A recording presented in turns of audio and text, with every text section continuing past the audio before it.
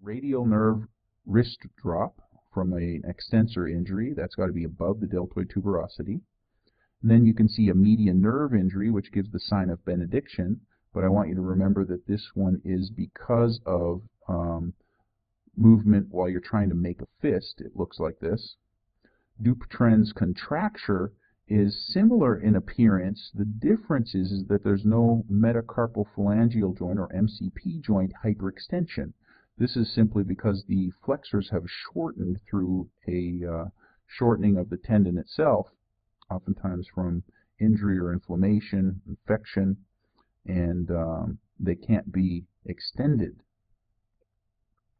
With the ulnar nerve injury, again, it looks fairly similar, but you have um, metacarpal phalangeal extension at the digits uh, 4 and 5 and that's going to give you an ulnar claw. But this is at rest, not while they're trying to do anything.